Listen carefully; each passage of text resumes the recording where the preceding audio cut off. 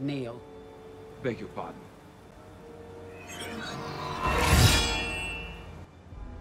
Neil, I don't think so.